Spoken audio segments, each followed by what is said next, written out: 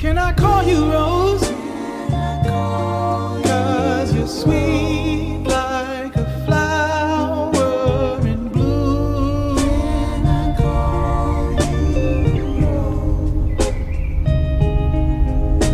Can I call you Rose?